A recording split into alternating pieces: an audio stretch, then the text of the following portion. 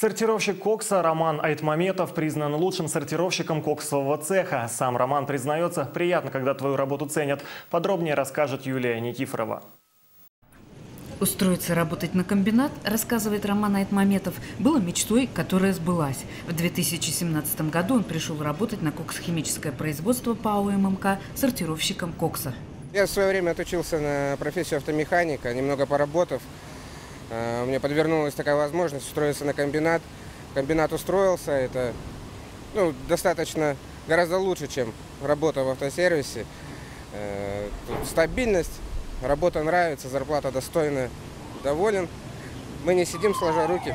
Сложа руки, действительно, на участке коксосортировки не посидишь. Весь производимый цехом кокс бесперебойно, как говорится, 24 на 7, транспортируется с помощью системы конвейеров на отгрузку и в дальнейшем потребителям. В основном это доменное производство комбината.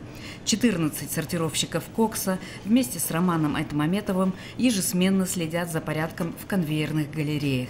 Занимаемся мы уборкой конвейерных лент, содержанием их в чистоте и порядке, на закрепленных участках.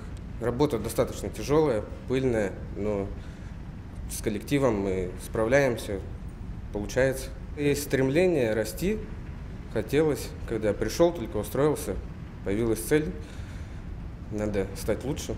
Совершенствоваться в работе у Романа получается. Руководство цеха уже неоднократно премировало его за самый чистый участок.